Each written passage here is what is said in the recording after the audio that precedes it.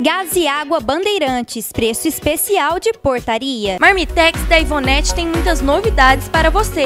E agora em novo endereço na rua Luiz Celane 521, no bairro Jardim Planalto. André, que é o presidente da Missão Vida, fala da vinda do cantor Leandro Luz e agradece o apoio que vem recebendo da população guaxupeana. Hoje é o testemunho do Leandro Luz aqui na Missão Vida. Um menino que saiu, um jovem, né, que saiu das ruas da Cracolândia e Deus transformou a vida dele, né? Então ele está aqui nessa noite para poder passar essa mensagem que é possível, que dá, que tem jeito, que funciona. Basta simplesmente a pessoa ter a sincera vontade de sair do mundo do álcool, das drogas e da rua. Queria já desde já também, Elton, usar essa oportunidade para fazer um agradecimento, né, a todos aqui de Gochupé, que colabora com a Missão Vida e desde um sabonete, uma pasta de dente, uma escova de dente, um pacote de arroz, enfim, de todas as maneiras. É, aqui o nosso sincero agradecimento que sem vocês essa obra não seria capaz de estar do jeito que está hoje. Hoje nós nos encontramos aí com 26 assistidos, moradores de ruas, é, dependentes químicos, porque moradores de ruas se tornam dependentes químicos e graças aí à população de Gochupé nós conseguimos manter essa casa de portas abertas.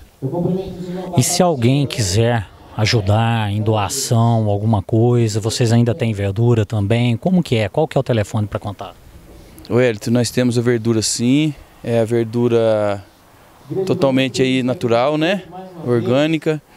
O que, que acontece? É o carro-chefe da Missão Vida é a verdura e o almoço que a gente realiza uma vez por mês para poder pagar os, as despesas da casa.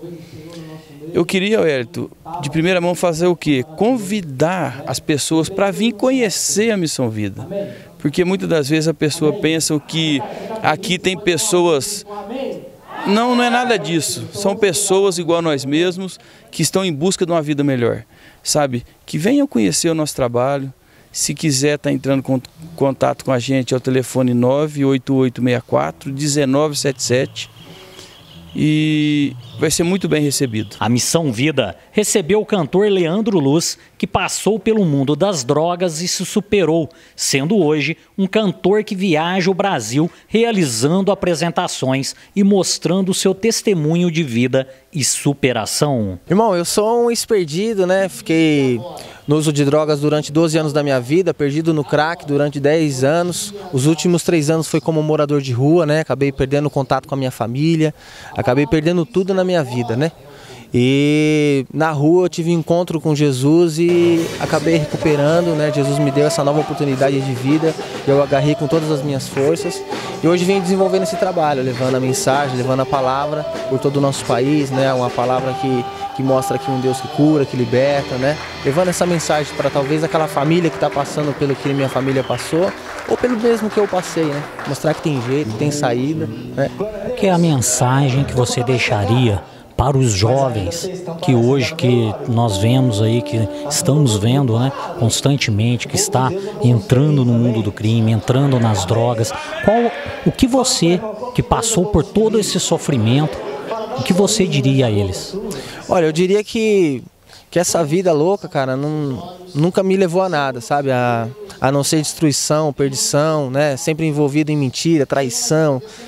Essa vida louca, né? Então eu sempre falo para os jovens para tentar se aproximar de Deus. Né? A gente está no ano de 2017, aí a gente vê as famílias sendo destruídas, os jovens se perdendo e Deus é a solução, cara, sabe? Eu acho que o jovem precisa muito de Deus e eu acho que com Deus assim fica mais fácil a orientação do jovem, né?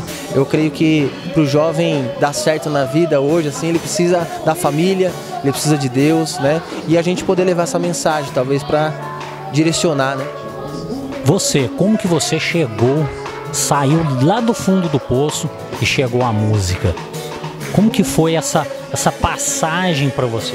Então, sempre fui envolvido com música, né? Cresci, meu pai já era cantor, né? Meu avô é um dos maiores compositores da música sertaneja no Brasil. Meu avô tem 560 músicas gravadas no meio secular, né, do sertanejo. Então eu cresci no meio de música. Então assim, sempre já cresci tocando, eu toco vários instrumentos. Né? E sempre a música teve dentro de mim. Então, nesse período que eu morei na rua, eu acabei me afastando, né? Mas sempre aquilo ali me motivava, né? E quando eu tive a oportunidade de poder voltar a fazer o que eu amava, que era a música, e ainda a, essa junção de levar uma mensagem junto com a música, né? E qual foi a música tua que explodiu? Irmão, a música que mais tem tocado se chama És o Meu Deus. É uma música que eu, que eu compus três dias antes do fechamento do CD, né? E, e, vem surpreendendo a gente, porque é uma música só voz e violão, né? Já está no, no, meu canal no YouTube, na Vevo. E, e, vem surpreendendo a gente, sabe? Então, assim, foi a música que mais tem tocado, que tem chegado em lugares que eu nunca imaginei que um dia minha música ia chegar. Uma palhinha dela? Venha de encontrar a mim Escute o meu clamor, não poderei viver, porque sem ti eu nada sou.